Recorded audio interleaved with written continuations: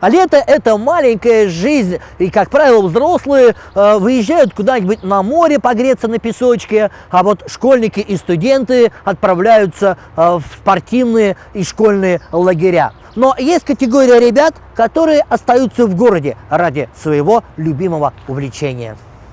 Тебе 15 лет, а ты э, в лагерь ты что не поехал? Честно, не хочу. Вот еще вот это вот автоклуб, очень понравилось. Вот планирую на каникулах заниматься почти каждый день. Это мне нравится, я это не брошу. Редко какой мальчуган не мечтал скорее вырасти и сесть за руль настоящего авто. Этим ребятам повезло. В свои 14-15 лет они попали в военно-патриотический автоклуб.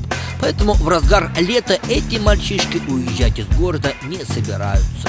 По одной простой причине. Пацаны полностью заняты своим любимым увлечением – автоделом.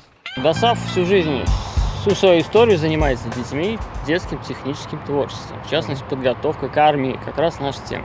То есть кружок военный, патриотический, но с автомобильным уклоном. Обязательно должны все они это знать.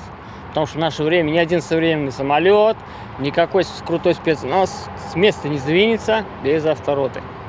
Так что это основа основ всей армии. Автодром на южном шоссе Самары. На протяжении всего дня здесь тренируются курсанты автошкол. В том числе проводится тренинг у самарских спасателей. Среди любителей и профессионалов на площадке тренируются и мальчишки военно-патриотического клуба «ДОСААФ России». Многим взрослым непривычно видеть за рулем УАЗика совсем юных подростков, которые не просто так учатся водить машину для себя – а познают азы будущей военной профессии. Военный водитель обязан выполнять боевую задачу в любых дорожных и погодных условиях. И в связи с этим занятия проходят не просто в местах, приближенных к боевым, а именно боевые. Вы сами видели обстановку. Здесь нет тут конусов оранжевых, здесь ветка, камень. На войне это мина и пуля снайпера. Погиб сам, погубил людей, не выполнил боевую задачу. То есть Но... очень серьезный подход. Без теории нет практики. Лекции мальчишки слушают в стенах автошколы, а вот азы вождения автомобилем познают на автодроме. Вроде рули себе и рули, получай удовольствие. Но это поначалу управление машиной осуществляется по прямым дорогам. От занятия к занятию происходит усложнение. Многие автолюбители, кто когда-либо учился в автошколах, помнят одно из самых сложных упражнений. Это преодолеть горку, подняться и спуститься. Не просто на скорости проскочить ее, а остановиться. И вот отсюда уже тронуться дальше.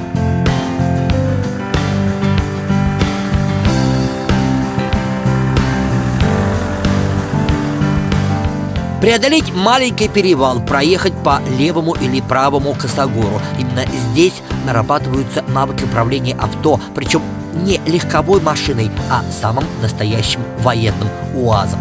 Здесь на автодроме мальчишки быстро взрослеют. В свои 13-14 лет уже себя не считают детьми. Ну, в детстве я думал, то, что машина – это игрушка. Как-то первый раз сел – очень сильно понравилось, и, можно сказать, появилось такое увлечение. Это увлечение перешло в хобби. Я не могу долго без машины. Миша Буторин узнал о военно-патриотическом клубе от друзей. Занимается уже год. Поначалу мама волновалась. Хотела даже сама прийти в автошколу, но Михаил отговорил ее. Ну, я не маленький мальчик, я говорю, я сам один схожу, посмотрю, вот у меня друзья занимаются, говорят, хорошо. Ну и пошел, она меня первый раз отпустила, переживала. Ну, потом все было хорошо и отпускала. Пока у ребят прав нет, за руль садятся только под присмотром инструктора. На номера обязательно вешают табличку «Учебный». Пацаны с нетерпением ждут, когда им исполнится 18 лет, чтобы за руль садиться уже на законных основаниях. В свои 14 Михаил уже сидел за рулем легкового автомобиля и большегрузного КАМАЗа, тоже в качестве курсанта. Несмотря на юный возраст, Михаил уже строит планы по поводу будущей профессии.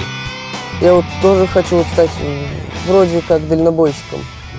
Твоя мечта. Ну да, у меня брат мечтал, вот стал. Мне вот тоже это нравится. А чем тебе нравится? Фура, она длинная, неповоротливая, там все сложно. Парковаться тяжело задним ходом. То есть и вот это тебе нравится ради этого?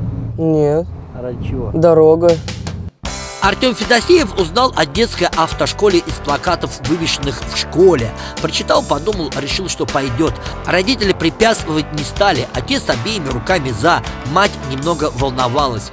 Всего полгода занятий и уже сел за руль учебного УАЗика. Помнит свой первый день практического занятия по вождению. Самое сложное это была змейка для меня. Змейка и вот та вот горка. Когда сел, у меня коленки дрожали. Вот это было. Я волновался сильно. Да и все. От простого к сложному сначала тренинга на автодроме, затем кто остался до более сложной программы езда по пересеченной местности. Все как в реальной жизни военного водителя. Хотя об этом пацаны всерьез еще не задумываются. Им интересно сесть за руль внедорожника и отправиться по буеракам. Чем сложнее, тем для них лучше. Перед проселочной дорогой обязательное построение, еще раз осмотр техники и уточнение задачи. Инструктор ставит задачи и еще раз напоминает о технике безопасности, ведь дорога по пересеченке – это не ровный асфальт. Товарищ курсанты, приступить к контрольному осмотру.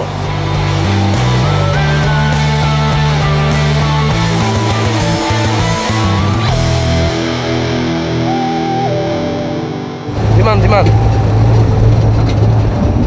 Вот на таком расстоянии держи. Ближе не, под- не надо подъезжать. А то, не дай бог, водила чем-то остановится или чего.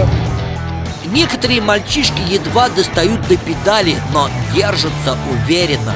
Дмитрий Ершов самый младший в группе, ему всего 12 лет, а как будто уже совсем взрослый. Слушай, ну ты пока еще не высокий, а как же ты до педали достаешь? Хорошо достаю и на КамАЗе, на, все, на всей технике. А было ли тебе страшно? Первое время, да, а сейчас э, страх, ну, бывает только зимой, когда можно застрять, провалиться под лед, когда заносит.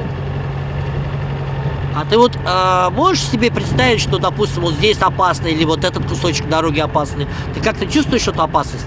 Ну да, ну если здесь, допустим, люди, то есть надо, чтобы люди тебя увидели. Если не увидели, то надо остановиться. А какая разница, ты гражданский водитель или себя считаешь, или военным? Военным больше всего. А э, ты в армию собираешься идти? Да. Кем? Ну, скорее всего, в ВДВ пойду. Для Дмитрия занятие спортом и учеба в автошколе имеет большое значение. Он уверен, что доармейская подготовка ему поможет быть выше на голову своих сверстников в армии. Движение по пересеченной местности одной лишь ездой по грунтовке не ограничивается. Приходится преодолевать водные преграды. Команда газы. Интересно надеть противогаз и проскочить задымленный овраг. Наверное, самое сложное протиснуться на машине по трубе, да и еще преодолев огненную преграду и дымовую завесу. Кто знает, куда закинет жизнь этих пацанов, но, по крайней мере, они будут уже готовы к таким трудностям. Инструктор Виктор Арсентьев уверен, что именно жесткая доармейская подготовка поможет парням легко влиться в ряды вооруженных сил России и остаться в живых, не дай бог, участвуя в военных действиях. Thank you.